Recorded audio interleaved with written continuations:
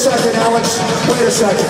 Al, guys, I apologize. We have it that they don't turn these blowers on. Somebody intentionally put the blowers on here, and it's turning into a refrigerator up here on the stage. It's blowing on us. It's going to cause us to fuck our voices up. I think you all paid for a good ticket, hard-earned dollar. I think you deserve better treatment from the fuckheads who are running these blowers up here.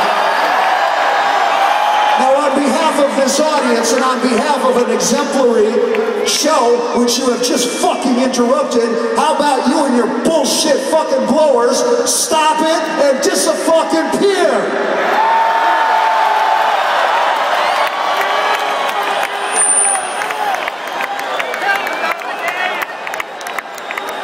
I apologize on behalf of these guys. We asked them in the beginning, you're going to get a much better show if they turn their bullshit off.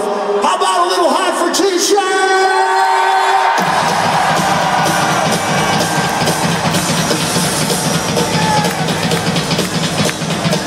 I'm not fucking with you.